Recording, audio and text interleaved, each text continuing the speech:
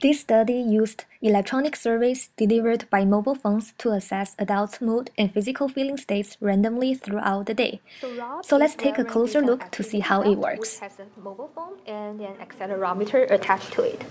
The cell phone will deliver electronic survey randomly throughout the day. Survey asks questions about current mood and energy level up to four times a day. It will take about two minutes to finish the survey.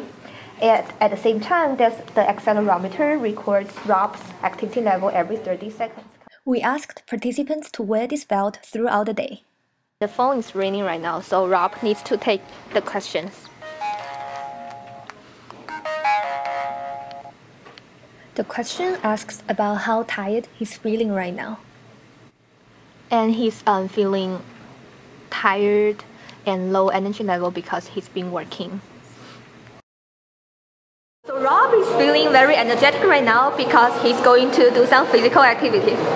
And the accelerometer is recording his activity level every 30 seconds.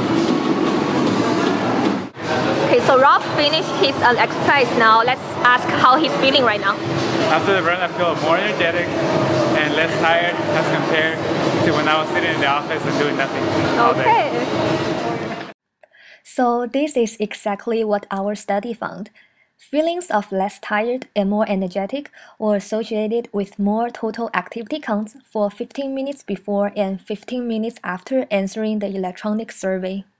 If you want to know more about this study, please come check out my poster on Saturday, March 23rd at the 34th annual meeting of Society of Behavioral Medicine.